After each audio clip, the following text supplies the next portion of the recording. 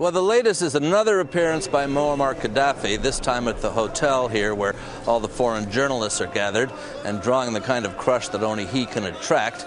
He again said that Al Qaeda was behind this rebellion, that they had misled Libyan youth, and he gave no indication at all that he's prepared to give up the brutal battle he's fighting to stay in power.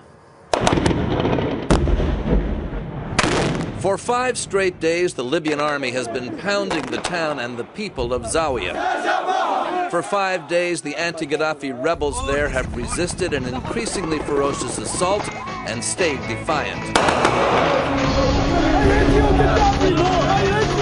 For Colonel Gaddafi, this pocket of resistance, just 30 miles from Tripoli, is an embarrassment on his doorstep, one that flies in the face of his claim that the rebellion has been brought under control. He sent in the most notoriously ruthless unit in the Libyan army, the Khamis Brigade, headed by one of his sons, to shoot them down. Each time the army rolls in, the toll of death and injured mounts. Each time, the diminishing number of defenders, augmented by some army defectors, has somehow repelled the advance.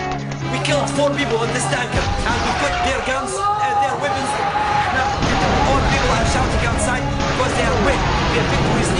Victory is uncertain and costly. Each government attack leaves wounded and dead behind. This one is from the army. A reporter from Britain's Sky News channel has been the only outside witness to the battle. And amongst the injured are the attacking soldiers. One of them is still conscious. He's begging for his life now. The man is a tank commander pleading that he was forced to fight on the wrong side. He may have been unlucky.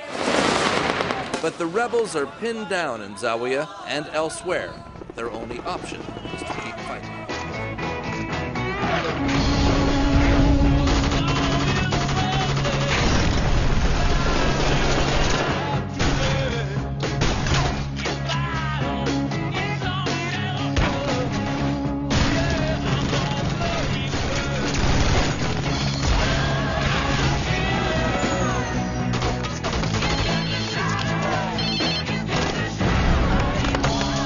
concierge.